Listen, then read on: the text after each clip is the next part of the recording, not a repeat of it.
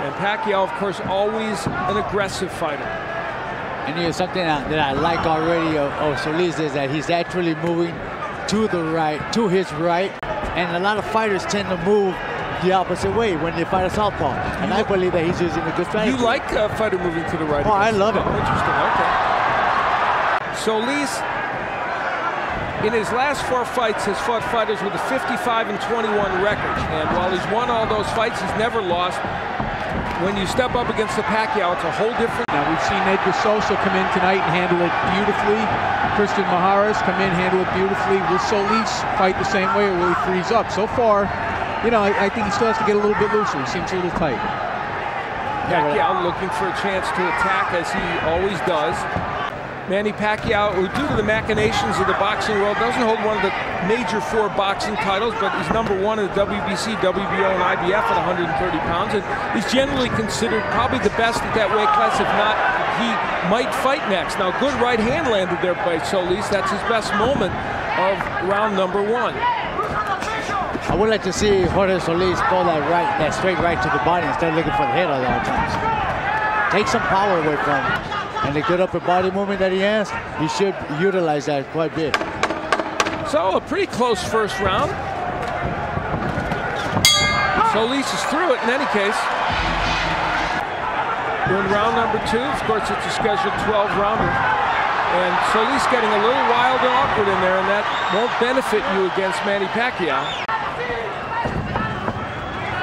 You need to get Pacquiao frustrated. Make him make mistakes. Like right there, he's getting a little frustrated because he can't get in. He's, he's reaching in. Now right there, I believe that uh, Solis should have thrown a left hook when he saw Manny Pacquiao go in like that. Did land a counter right hand, Solis. Pacquiao's left gets in. Of course, that's an important punch for him, we all know. Physically, psychologically, emotionally than he was that night. Is there a danger, Genaro, do you think, that maybe he looked past this one or didn't take this one quite as seriously as those fights. He said, I'm not campaigning. Obviously, I, when I'm training, I put all my mind into this fight. When this is all done, I'll go back and campaign. But for right now, I'm all about boxing. Well, you know, there's more on the line here than just Manny Pacquiao's uh, boxing career. Just seconds remaining here in round two. A better round for Pacquiao, probably, although Solis, there landing a jab, has had his moments at least the pace of the fight for Solis. And there's another straight right hand getting in by Jorge Solis. So down in junior featherweight, taking on Jorge Solis. And he just connected a couple of good shots right now, too. The only bad thing about Solis is that he doesn't have the power to, to stop Pacquiao in his track. Uh, and he is 3-1 and 1 against uh, the Eric Moraleses, uh, Juan Manuel Marquez, and Marco Antonio Barrera. Hard for them even to take advantage of it. Certainly Solis would have a hard time doing it. We saw Pacquiao just land a big left hand. Punch that you were talking about, Genaro, was probably the best punch of the round right here by Pacquiao. It was kind of at the end of the punch, though. But yeah. he's certainly one of those guys you would never tell a young fighter fight like Manny Pacquiao. You definitely don't want to do that. He's like the only guy that can do it. Yes, and he not only does he get away with it, he's successful. Pacquiao throwing punches, but they're having a hard time getting there. He's just Solis is apparently able to kind of block and slip a lot of those.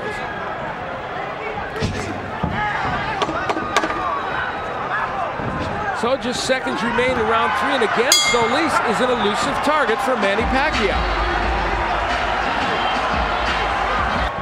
Pacquiao on the right of your screen gets that straight left hand in again. There's the Solis jab that everyone's in agreement he should throw a little bit more, certainly including his brother. If nothing else, Solis is a very awkward fighter for Pacquiao to deal with right now. Yeah, the, the height has actually been a problem for Pacquiao. Uh, the movement, I mean, people who've seen Pacquiao fight should realize and understand that he has a, little, a lot of trouble with fighters that move on him. Having said that, Pacquiao is doing some good work in this round, and Solis has not been able to punch back much.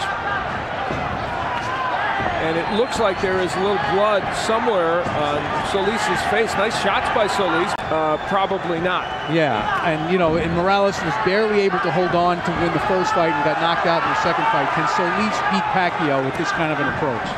You know, uh, I'm gonna say that maybe Juan Manuel might have fought him just Okay. as good. All right. Yeah, well, he fought Only very because he got yeah. dropped in the in the first round three times. But other than that, he changed his way of fighting, and he made Pacquiao looked beatable. As we were talking about. What those two guys had in common, they were both hitting Pacquiao hard and often. And Solis Right. is kind of picking his shots. Nice left hand by Pacquiao. May have stunned Solis. We'll see. Another left hand by Pacquiao.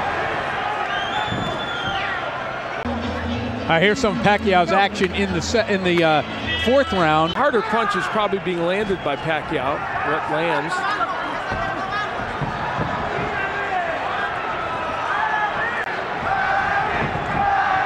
you know, you know, Pacquiao, he has an awkward style. You know, he looks very, very calm, very calm, and all of a sudden he just shoot out right away. And he's very quick with his hands as well. Solis has his best moments of the fight of Manny Pacquiao in June. That's a fight I would really like to see is Manny against Soto because Soto is a monster. Good straight to the right. Here by comes Solis with Manny Pacquiao trapped against the ropes and attacking. Is this playing possum?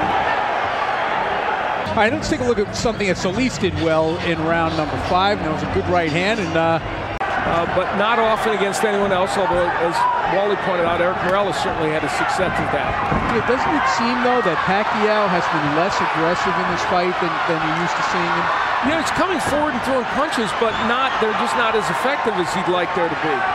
Genaro pointed out is the awkwardness of, uh, of Solis. Just seconds remaining here in round five. This has been a pretty good round for Jorge Solis, and that's the understatement. Though he's probably still behind in this fight, he's making some things happen against Manny Pacquiao. Just because there's blood on the eye doesn't mean they. Oh, good, straight right. Now remember, as this fight wears on, especially as we get through this round, And there goes a pushing by Pacquiao. He's trying to muscle his way in.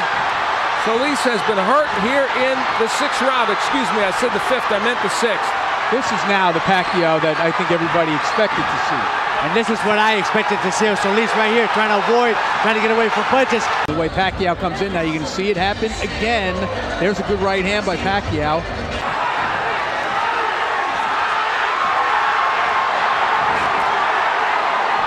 Solis just ripping shots on the inside. And again, I think they bang heads in the eye, bothering Pacquiao.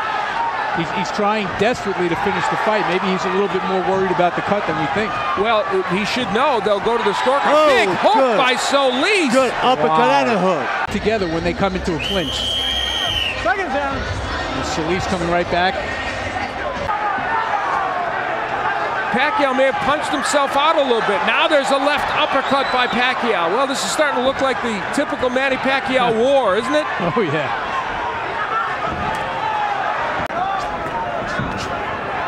Solis has a tendency to fall inside, especially after he throws his right hand, and that's why the heads keep coming together. Two left hands hurt Left hook. Solis. Yeah. Two good straight left hands got him in trouble again. 29 of the 32 KOs that Pacquiao has had have come within six rounds. And all of Solis's KOs have come within six rounds. So they're in territory where Solis just doesn't knock people out and Pacquiao doesn't often do so.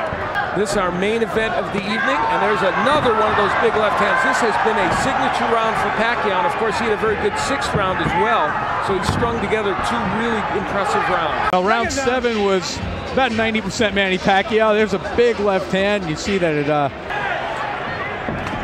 you know, and I think they've run out of ideas in Solis's corner. Genaro, you know, we were both listening, and uh, they've invoked the uh, the family. He's in trouble, and down goes Solis. It looked like it was that lip uppercut that dropped him. First knockdown here, Gennaro. This is the first time that he was sent to the canvas in this round. He, he got hurt right there, and then there's that there's that right uppercut. I thought it was a lip, but it was a right uppercut. There goes that uppercut again. He's hurt. He's out. Oh, it's it. It's so, over. Solis sent down for the second time. Cinco, He is on the siete, apron of the ring. ocho, He's not gonna beat the nueve, count. diez. He's not gonna beat the count. Manny Wow. Pacquiao. And and there's the end of the fight again. Double left. There's a uh, straight right and a left to finish it off.